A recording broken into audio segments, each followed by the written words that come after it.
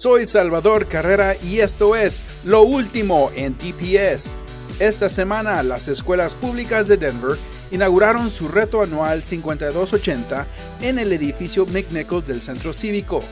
Cientos de estudiantes líderes de DPS colaboran para identificar soluciones a los problemas de justicia social y esto mejora la equidad en nuestras escuelas y en nuestra ciudad. Los equipos trabajan en estos inspiradores proyectos durante todo el año escolar. ¡Qué gran celebración! El primer evento de Jovencitas en la Política conectó a 100 estudiantes de DPS con mujeres de todo el estado líderes en la política. Dichas mujeres intercambiaron experiencias, ideas e iniciativas con respecto a la creciente cantidad e influencia de las mujeres en puestos de liderazgo político.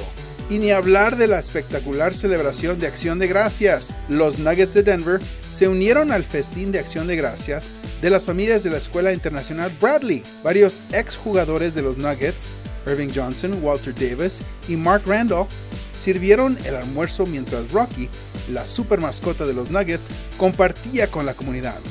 Y de nuevo le damos las gracias por vernos.